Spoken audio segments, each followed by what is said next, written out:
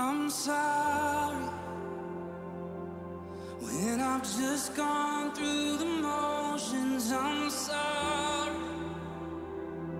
when I just sang another song. Sovereign Lord, we are grateful for your redeeming blood, which was shed for each of us on Calvary. We honor you, Lord, for your kindness and your compassion. For great is your mercy towards us, which is renewed daily.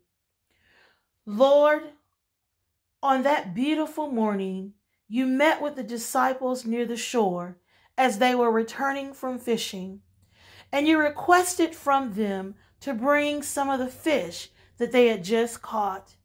And in your benevolent way, you prepared a meal for those whom you entrusted to carry the secrets of God to the nations. Thank you, Lord. Thank you, Lord, for going before us and preparing a place for us. Thank you, Lord Jesus, because your anointing destroys the yokes of the bondage and sets the captives free. Thank you, Lord, for feeding us so that we may feed others. In your blessed name we pray. Amen. John chapter 21, verses 1 through 14. Later, Jesus himself appeared again to his disciples at the Sea of Tiberias. This is how it happened Simon Peter, Thomas, called Didymus, Nathanael from Cana in Galilee, Zebedee's sons, and two other disciples were together. Simon Peter told them, I'm going fishing. They said, We'll go with you. They set out in a boat, but throughout the night they caught nothing. Early in the morning, Jesus stood on the shore, but the disciples didn't realize it was Jesus. Jesus called to them, Children, have you caught anything to eat? They answered him, No. He said, Cast your net on the right side of the boat, and you will find some. So they did, and there were so many fish that they couldn't haul in the net. Then the disciple, whom Jesus loved, said to Peter, It's the Lord. When Simon Peter heard it was the Lord, he wrapped his coat around him, for he was naked, and jumped into the water. The other disciples followed in the boat, dragging the net full of fish, for they weren't far from shore, only about 100 yards.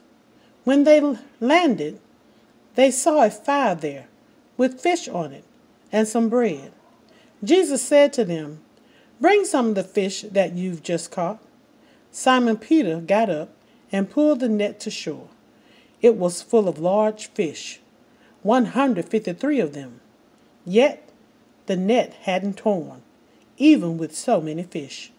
Jesus said to them, Come and have breakfast. None of the disciples could bring themselves to ask him, Who are you? They knew it was the Lord. Jesus came, took the bread, and gave it to them. He did the same with the fish. This was now the third time Jesus appeared to his disciples after he was raised from the dead.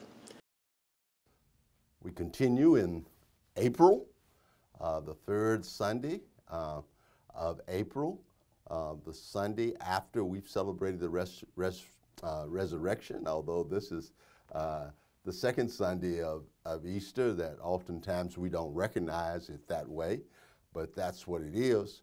And so we pick up a text here today from John, the 21st chapter, first through the 14th chapters. And um, one title is Friends, Food, Fellowship. Another is Jesus Cooks Breakfast. Um, uh, the focus is traumatic losses can lead us to become disconnected from our purpose in life. what helps us recover a sense of wholeness and purpose. Jesus' appearance and fellowship with the disciples at the Sea of Galilee uh, reunited, uh, reunified the disciples and restored their sense of purpose. Uh, the goals for learners today is to discern the meaning of recognizing Jesus only after he says or does something familiar to his followers, uh, to awaken uh, to Jesus' healing power in our own lives, and to restate our sense of purpose in light of the spiritual nourishment and substance that Jesus offers. A miraculous catch of fish uh, verses 1 through 3, Peter and six other disciples returned to fishing. After these things, Jesus showed himself again to the disciples. John recorded another of the several appearances of the resurrected Jesus to his disciples. This appearance uh, took place in the Galilee region of the Sea of Tiberias. Uh, Matthew 28 16 also records an appearance of the resurrected Jesus uh, in, to his disciples in Galilee. Uh, Simon Peter, once again, Peter was at the top of the list of the disciples. This time, he was among uh, seven who joined him in fishing at the Sea of Galilee. Uh, and two others of the disciples, there were two other, and um, they were unnamed, and I believe purposely unnamed. They represent the anonymous and hidden multitudes of faithful souls, uh, whether they be in our churches and whether they be wherever they might be, whose names are never published in human documents, whose deeds are never reported in human reports. I think about um, this whole sense of me doing what I do is that there are numerous people whose names will never be called, names will never be recorded, but because of them, I'm able to do much of what I'm doing today, including uh, this recording. To these he manifested himself as surely as to the others. Those two other represented the majority of the saints. I'm going fishing. Some believe that Peter was wrong to go fishing and that this was a compromised return to a former occupation. Others believe Peter disobeyed uh, to, uh, no command of Jesus and was simply wise and practical. In the end, only the attitude of Peter's heart could determine if he was disobedient uh, to go back to fishing. It's important to remember that they went to Galilee because Jesus told them. Uh, I, I, used this text last week, and Jesus told them to go to Galilee. Adam Clarke put the fishing enterprise in the best possible light. Previously uh, to, uh, to the crucifixion of our Lord, the temporal uh, necessities of himself and and his disciples appear to have been supplied by the charity of others. Look at Luke 8 3. As it is probable that this scandal of the cross had now shut up this source of support, the disciples, not fully knowing how they were to be employed, purposed to return to their former occupation of fishing. In order to gain a livelihood, and therefore the seven mentioned in John 21 2 embarked on the Sea of Tiberias otherwise called the Sea of Galilee. At the best, it shows that Peter and the other disciples were uncertain as to what they should do next. The fishing expedition plainly reveals the uncertainty of the disciples, an uncertainty which contrasts sharply with the assured sense of purpose from the day of Pentecost. The night they caught nothing. That night they caught nothing. They fished through the night and had no success. Whether their motives were good or bad, they that night they caught nothing. All night they had toiled without one sign of fish. They had lost heart. They were weary, hungry, hopeless. Ah, they should whisper, This lake is sadly changed. There used to be good fish in it. There, are, there doesn't seem to be one in it now.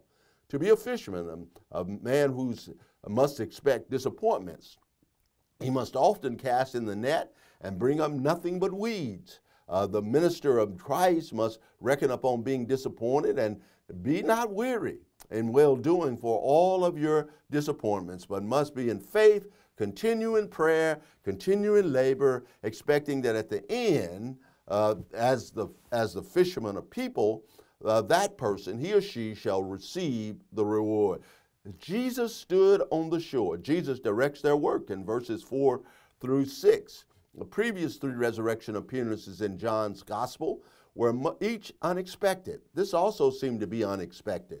The disciples did not know that it was Jesus. It is wonderful to think that Jesus showed up at their work.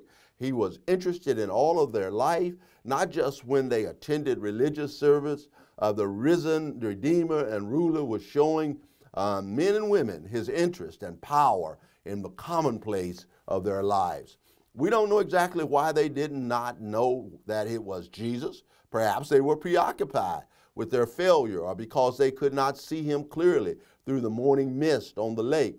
Children, have you any food? Jesus spoke to his disciples with a common greeting that working uh, people used among themselves. Yet he also made them explain an unsuccessful night of fishing, causing them to answer him, No. Cast a net on the right side of the boat and you will find some.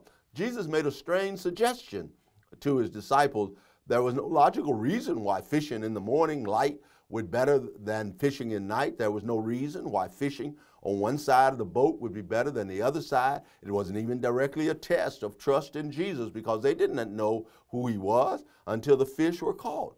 This was probably a test of their ability to find the guidance of God in small and unsuspected ways, such as a stranger calling out fishing instructions from the shore. I don't know about you, but sometimes God guides me in strange ways. And through strange situations and what I might consider strange people. I've been unable to find any evidence which indicates which side of the boat was normally need, uh, used to fishermen on the Sea of Galilee, so that it's difficult to know whether this was unusual or not. This account illustrates the principle that we should never be afraid to change our method uh, as long as it is in the direction, at the direction of Jesus. And, and that is such a good word for us today, is that we should never be afraid to change our method. When we hear Jesus saying that method isn't working, I have a lot of stories I could tell about that, but I won't get off on that track right now. They were not able to draw it in because of the multitude of the fish.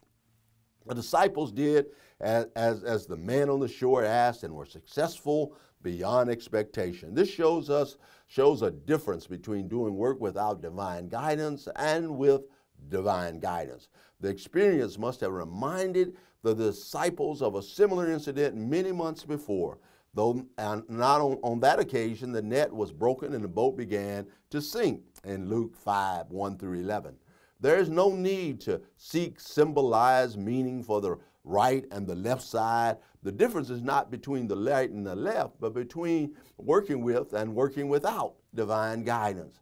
The disciples' haul of fish is a parable of their missionary activity in the time that was ahead. But this activity with this pastoral sequel will be attended by success only as they follow the directions of the risen Lord. We have even greater reason to expect blessings as he directs, as, as Jesus directs our service. Jesus never commanded the disciples to go fishing, but he commanded us to preach the gospel and make disciples. The disciples recognized Jesus on the shore. It is the Lord. John reached the tomb before Peter in John 20, 20 24 and recognized the fact of Jesus' resurrection before Peter. And, and there, here, John also recognized the identity of the stranger on the shore before Peter did. John knew that anything this wonderful had to come from Jesus. Plunge into the sea.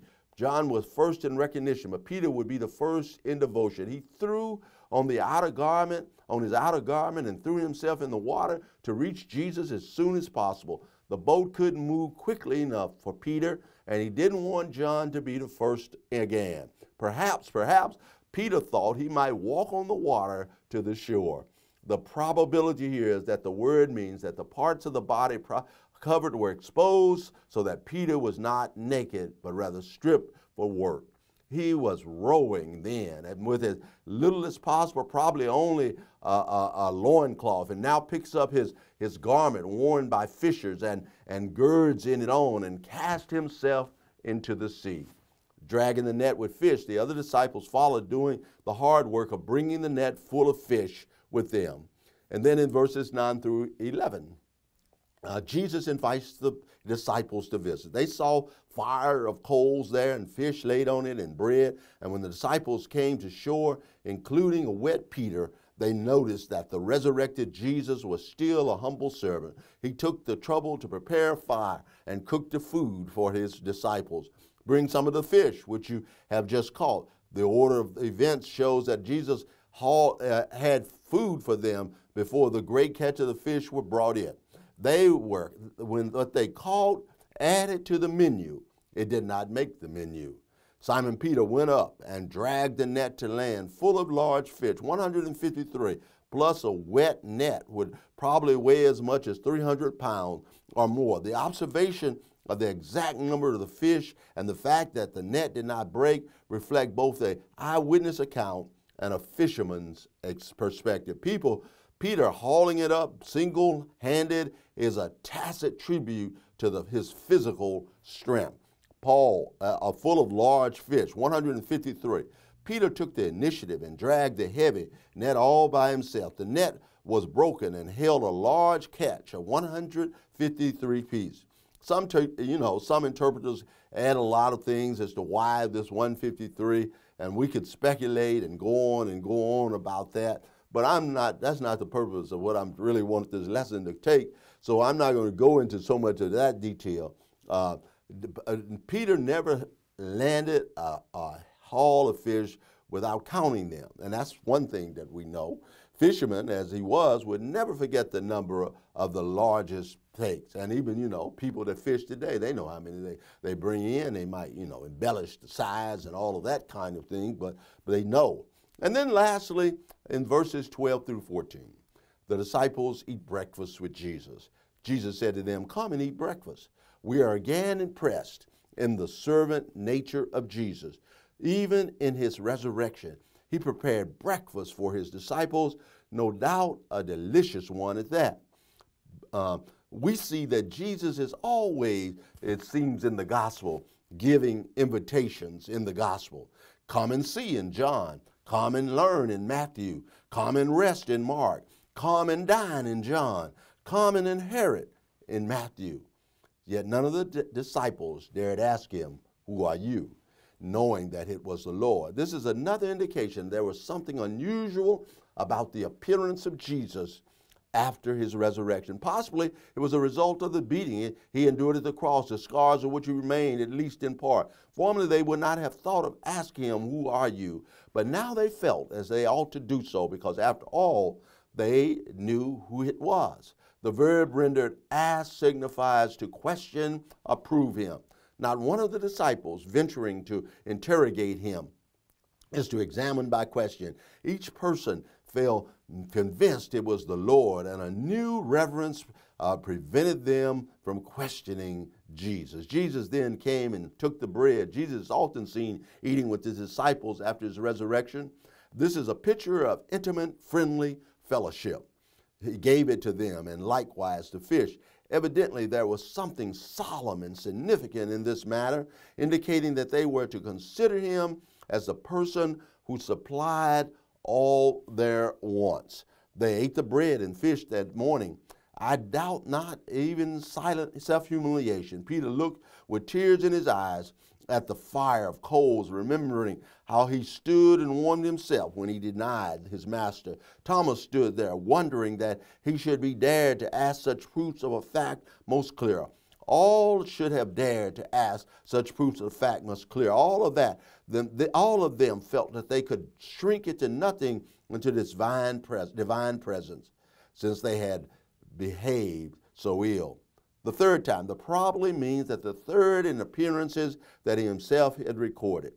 Yes, uh, Jesus fellowships uh, with friends, with food and fellowship, and Jesus cooks breakfast. I commend to you the challenges on the next slide. Blessings to you on this April 16th.